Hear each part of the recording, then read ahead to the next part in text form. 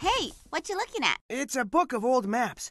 Can you believe that people once thought the Earth was flat?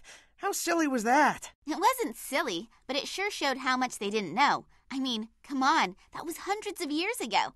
How many people had actually seen the world from space? Uh, none. Exactly. So people used scientific theories, you know, ideas or explanations about what the world was like or how it worked to imagine the world. Based on what? Well, based on their observations and what they knew about the world. And they didn't change their theory until someone came up with evidence that proved them wrong. Like when explorers sailed around the world and didn't fall off? Exactly. Suddenly, there was scientific evidence the world wasn't flat. So they had to change what they believed. Right. That's what the scientific method is all about gathering evidence and doing experiments to test theories. To prove they're wrong? Well, to see if the evidence supports each theory. What's most important is that the observations and experiments are accurate. Then, if scientists always find evidence that a theory is right, it can become a scientific law. Like Newton's law of gravity. Yep. It's hard to believe, but finding the truth can take hundreds and even thousands of years. Come on. Think about people in ancient times. They thought the sun revolved around the earth. Yeah, well, they didn't have modern science. Exactly. But they still used the scientific method to try and find out more. Galileo was the first to use the telescope to get a closer look at the sky, and his research gave people new information about space. And did you know that long ago, people believed that diseases were caused by smells? You're kidding. Why? Because when people died, they gave off a horrible smell.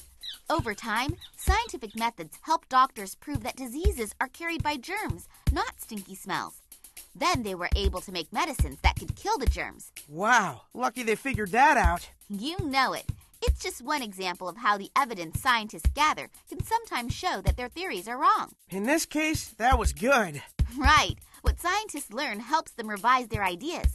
Revising theories is one way scientists come up with new inventions and doctors discover the causes and cures for diseases. I guess there's always more to explore. That's just what I mean. You gotta be open to changing your ideas if you get new information or evidence shows you're wrong. Hey, I'm never wrong. Oh, yeah? I bet you think that lightning never strikes twice in the same place. It doesn't. Everyone knows that. What? Can't believe everything you hear, Sam.